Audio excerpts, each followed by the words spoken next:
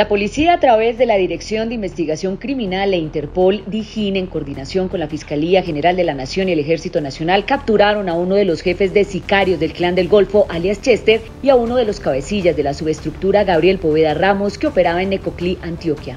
La Policía Nacional capturó al responsable de agredir a una patrullera del ESMAD durante las jornadas de protesta el pasado 20 de julio. La Armada de Colombia capturó a alias Cangrejo o Matías, presunto cabecilla de la subestructura José Manuel Gaitán del Clan del Golfo. La Fuerza Aérea incautó 496 kilos de clorhidrato de cocaína y 9.4 kilos de marihuana que iban a ser transportados en una lancha tipo Go Fast durante una operación en la que fueron capturadas dos personas. La Fuerza Pública frustró una acción terrorista en Bogotá con la incautación de 149 barras de pentolita que pertenecerían a alias El Paisa de la segunda Marquetalia. Eso permite claramente señalar que gracias a la labor de nuestra fuerza pública y la policía se evitó un atentado que hubiera podido afectar la vida y la tranquilidad de los bogotanos.